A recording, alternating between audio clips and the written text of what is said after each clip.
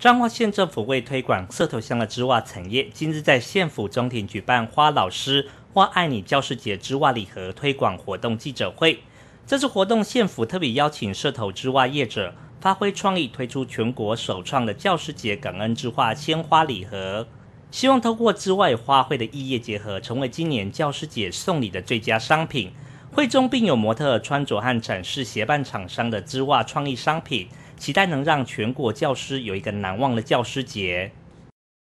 那我们知道，我们呃社头呃织袜产业，在我们全国来讲，是站在一个领头羊的角色哈。我们的织袜产业，哦，在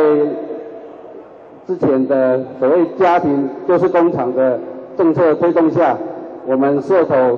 织袜的产业的规模达到我们全台湾的百分之九十。当然，最近有中国大陆低价袜子的一个进口一个冲击，但是我们社头织袜产业的产品都有在转型，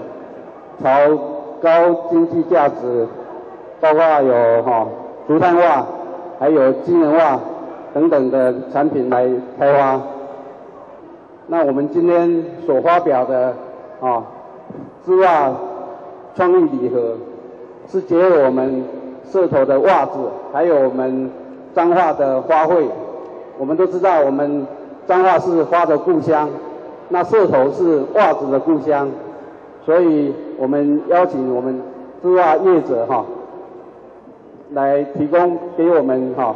今年教师节最好的一个礼物。那我们呃，这个其实不止教师节哈，我们可以作为每年固定的节庆哈，作为一个哦最好的一个礼物，可以来设计哈。那我们希望全国的民众哈，能够来购买我们社头。织袜礼盒哈，来送给我们最敬爱的老师哦，让我们这些呃织袜产品能够行销到我们全国，更可以行销到全世界。